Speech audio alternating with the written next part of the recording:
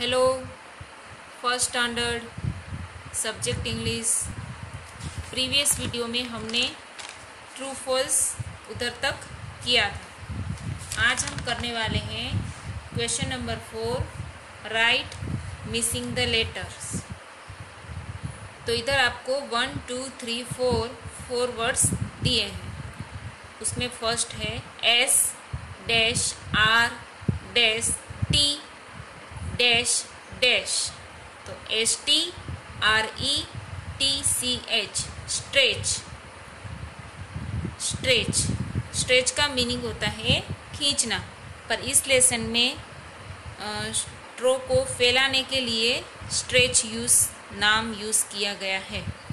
Second B dash R dash T burst bubble जब पत्थर से टकरा के बस्ट हो जाता है, यानी कि फूट जाता है। वो बस्ट यानी कि फूट जाना।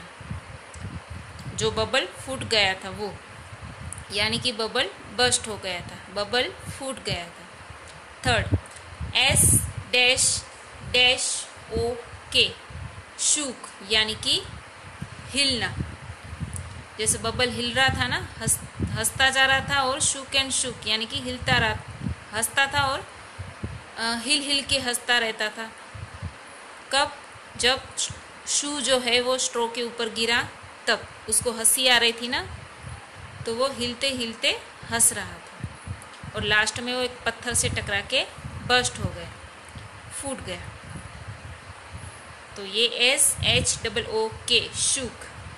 Four B dash double B dash E B U double B L E यानी कि बबल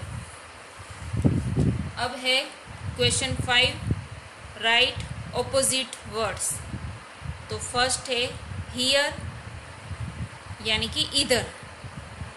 तो हियर का ऑपोजिट धैर इधर, उधर. फ्लोट यानी पानी में तैरना. और सिंक यानी कि पानी में डूबना। कोई भी थिंग्स होते हैं, अगर वो पानी पे तैरते हैं तो बोलते हैं फ्लोट करती है। और वो पानी के अंदर डूब जाती है तो सिंक करती है। देन तो पहले का। और नाउ यानी कि अभी का। और बिग तो स्मॉल ये तो पहले भी आ गया था।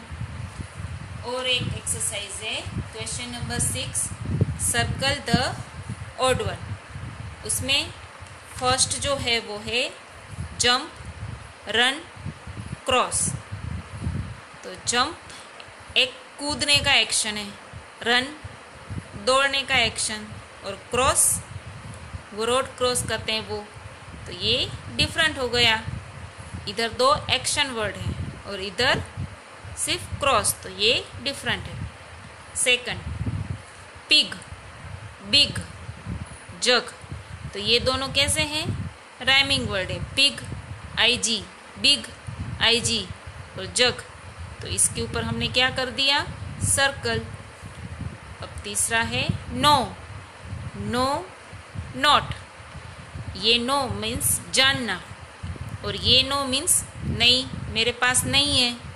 नॉट आई हैव नॉट मेरे पास भी नहीं है। मेरे पास नहीं है, ऐसे बोलते हैं ना? नो तो नहीं। नॉट नहीं। और ये नो मीन्स जानना। तो ये डिफरेंट है तो इसके ऊपर हम क्या करेंगे? सर्कल तो ये थी हमारी question number four five and six तो ये आपको अपनी नोटबुक में लिखना है। Okay thank you students